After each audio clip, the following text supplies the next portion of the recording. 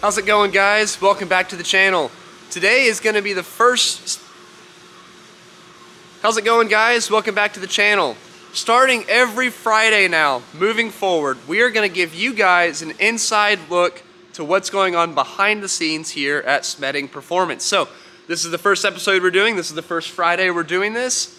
And let me show you all what we're working on. Let's start out with the big boy. This is our 540 cubic inch supercharged big block Chevy. This engine was purchased by a hot rod restoration shop and it is all done and ready to leave. It's a full turnkey package, full serpentine kit, everything polished, EFI fuel injection. Between me and you, this is our most underrated engine that we offer. We advertise it at about 800 horsepower and 800 torque and I cannot make it I cannot tune it to make less than about 860 horsepower. It is such a safe tune-up.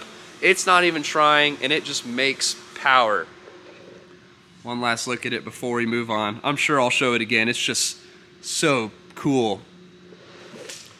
On the machining side of things, though, we actually have a new CNC machine that I want to show you guys. This is our Rottler H85AX fully automated CNC cylinder hone. And right now we are honing a Dart 6 bolt LS engine block. It's going to be a 427 cubic inch motor. Uh, this one in particular is going to be twin turbo, about 1300 horsepower. And after it, I have another one lined up and ready to go. This machine's super cool it actually will finish honing a hole and then move by itself to the next cylinder. So let's watch it for a second. It's almost done. Yep. It's gonna come out, take itself over, let me know it's done. Let's see, uh, so I'm at, I got 4,000. Right now I'm just roughing it to size. So I still need to take out one more thousandth and we're done. So, come here, cycle complete. I want it to take out another thou. Enter that, cycle start. It wakes up, moves over, super cool. Well, let's just watch it for a little bit. This is this is worth seeing. So it's gonna go into the hole. It'll size itself to the diameter. It's then going to check to make sure it doesn't hurt itself with the bottom mm-hmm. stroke. And let's see, we've got about one thou to go. It's feeding in pressure. There we go.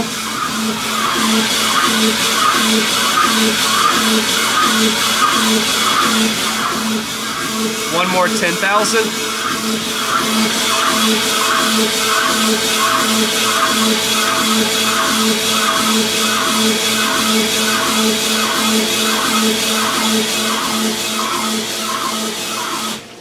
Now it's going to move itself to the next hole.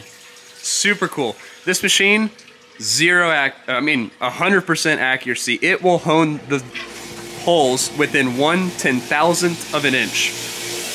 Super cool. There's a lot of other features that make it cool. I'm gonna do this, I'm gonna give this machine its own video in the future. Uh, but for now, it's running, I can walk away. It'll hone that block, I can come back, it's done. On the floor, Shay is working on a 441 cubic inch naturally aspirated LS3, as well as a 427 1500 horse supercharged LS. This motor has an RHS aftermarket block it's got a billet center, center counterweighted crankshaft, as well as billet Oliver I-beam rods, and some JE Ultra Bad Dude pistons. Let me roll it over real quick. So y'all can see the guts in this thing. So center counterweights, Oliver rods, really stout combo. We've got another 427 LS. This is one of our power adder long blocks. All it's waiting on are some custom Smith Bros push rods. They have already shipped. They should hopefully be here any day now and this guy can also leave. Got a short block ready to go. We've got a bunch of Fords right now waiting on oil pans still from Canton. This motor is waiting on a fully polished, I think I might, I'm to get these backwards. One of these is getting a full polished tunnel ram intake, and the other one is getting a full polished single plane intake. We still have this 416 LS3 available, turnkey retro package. Mike's getting ready to do a whole bunch of short block 383s over here.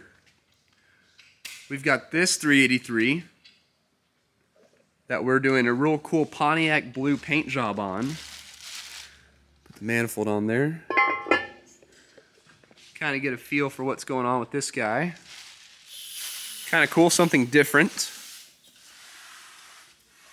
And in the dyno today, I have a 383 Extreme waiting on me to come tune it, run it, break it in, test it, make sure it's all good to go. This engine was optioned with Holley Sniper EFI along with Holley Hyperspark ignition system. So both of those components will be tested and tuned together and stay on the engine when it leaves to go to the customer. So when he gets it, all he has to do is wire in these components to his vehicle. It's already tuned, it's already tested, and it's ready to go. After it dynos, I've got a 406 eliminator to do, 520 horse deal. Pretty slick.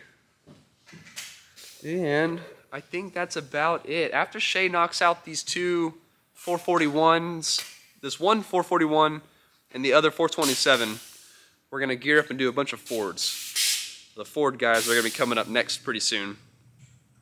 So, I can hear that my Rottler is done machining back here. Let's go check it out. Yep, cycle complete. Right now we're just roughing. And so I rough it 3 thou to size and then I'll come back and finish it. And literally, look at this. So at the very top of the bore, I'm 3 thou from size. Go to the very bottom, 3.1. It's within one ten thousandth. And what's also really slick about this one is it's a six stone holder. Traditionally, these hone heads are a four, a four stone holder. And the bore might be straight this way, but this way or this way, it might be a different diameter. It's not a perfect circumference. Whereas the six holder achieves that. Whenever it hones, this bore is completely 360 degrees, the exact same setup. So it's really trick is, let's see, so this left bank is completely done. Now I need to do the right bank. So I'm gonna turn off the left bank holes and turn on the right bank. Let's roll the block over. We can go ahead and move to our first hole. It'll come over right above where I programmed it. Now we can grab this guy and bring it down manually just to set this up. Make sure we're centered. Let me turn the spindle.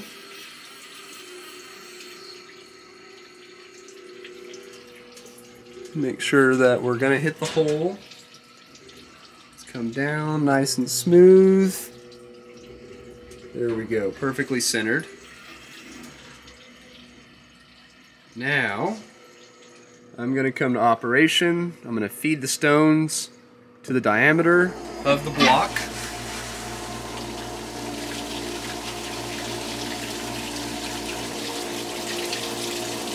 It'll take a second, but it'll get there.